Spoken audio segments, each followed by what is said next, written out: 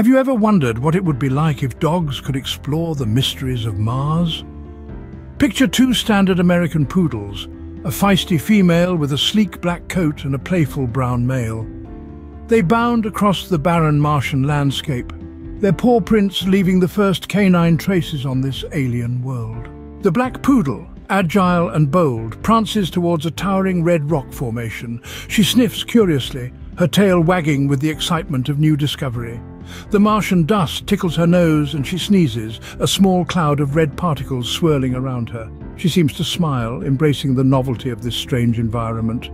Not too far away, the brown poodle sniffs the air, his ears perking up at the unfamiliar scents. He digs into the Martian soil, his paws kicking up a storm of red dust. He suddenly stops, his head cocked to one side, as if listening to the eerie silence of the Martian landscape.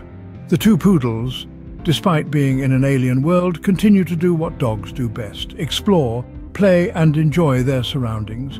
They chase each other around the towering rock formations, their barks echoing in the still Martian air. They roll in the red dust, covering their coats in a layer of Martian soil.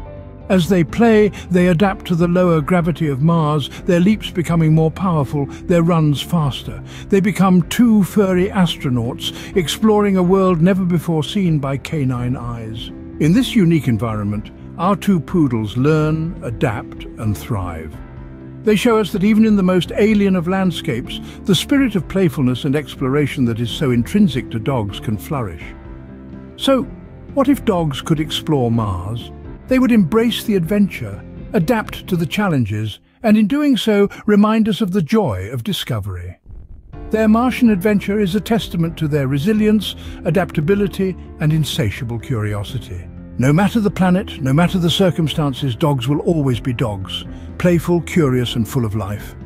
And that, dear listeners, is the magic of our canine companions on Earth and beyond.